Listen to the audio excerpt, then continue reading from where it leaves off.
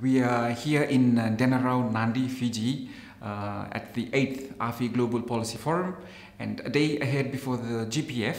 the working groups are all meeting to discuss, to deliberate, and recalibrate issues on uh, policy content. And uh, the working groups have been quite successful over the years in generating not only knowledge but participation and now is the time when they are diving deeper into content issues where they focus more on not only um, uh, policy regulation but also on regulatory guidance and uh, specifically on, uh, on the importance of peer learning where they provide or have the opportunity for peer reviews where members share draft policies and regulations and, and this is the time when they all get together to see what has happened, what has taken place, what has worked, what has not worked and also allow the opportunity for them to, to step back and reassess to see how they can do better moving forward.